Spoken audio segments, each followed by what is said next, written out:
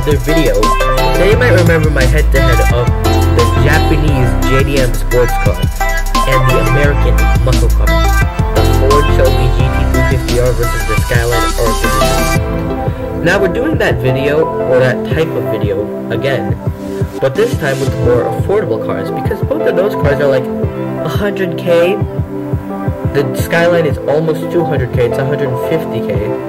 So we're looking at much more affordable options. The Camaro SS at 52 grand and the Supra Turbo Mark 4 at 45 grand. Which car is better? We're gonna find out in this head-to-head, -head, starting off in the Camaro. Starting off with the Camaro SS acceleration due to burnout and accelerate. It does accelerate fairly quickly, but after driving stuff like the GT500, I'd say it accelerates as quickly as the RCF, which isn't that bad, but it isn't that fast either. It goes about like 168 as its top speed, which also isn't bad. So right now, the acceleration top speed aren't too bad, they're actually pretty good. But we're gonna have to see how the Supra Turbo does in those, those stats. Let's go grab the Supra.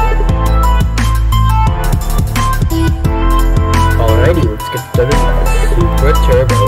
Dude, Burnout is launching, and honestly though, this car does accelerate quicker than the Camaro. It really does. Top speed is a 155, which is less than the Camaro, but not by too much.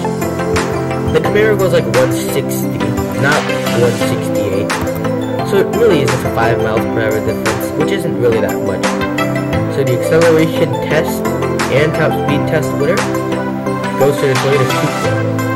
Yes, the Camaro has faster speed, but the Supra can get to its top speed quicker.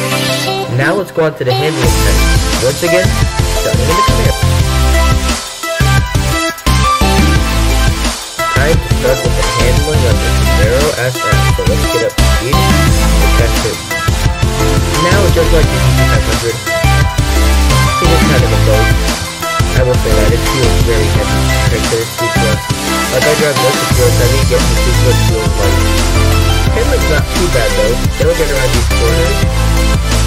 And it takes them fairly widely though. Yeah, it does, it does take some wide, it does take some fairly wide.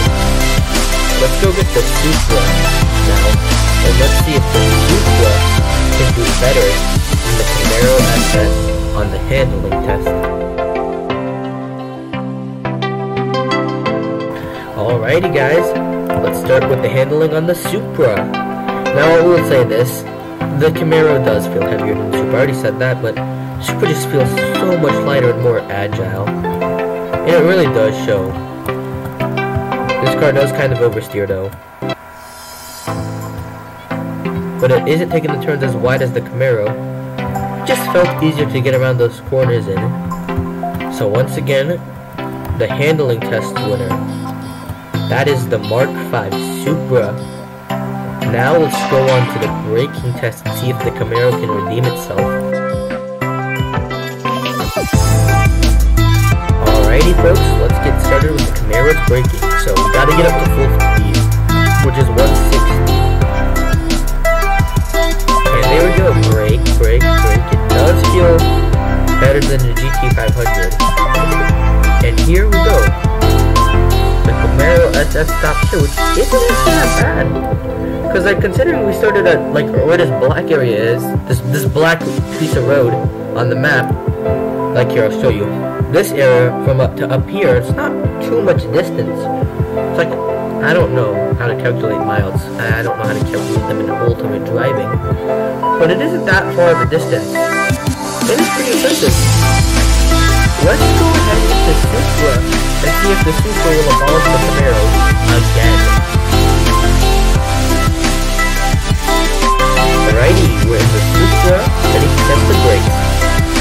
Going.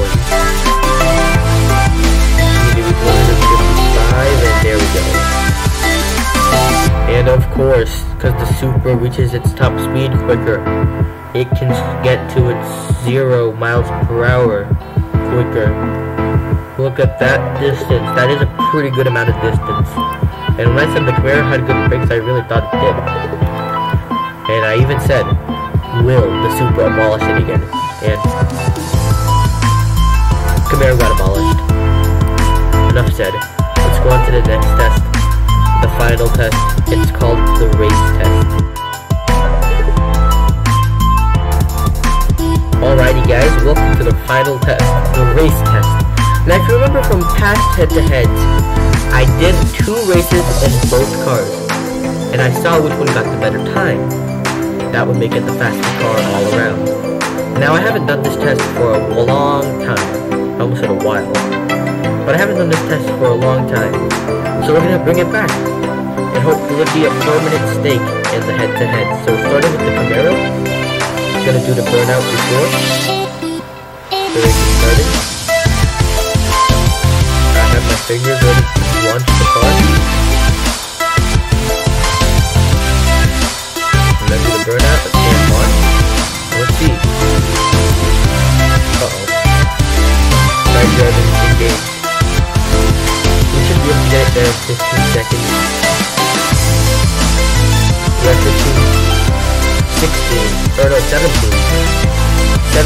17 seconds. 17.565. When the Supra beats that time? We're gonna have to go get the Supra and find out. Alrighty guys, we're in the Mark IV Supra, about to do the race test. So we're ready, and I need to pull up a little more. Here we go.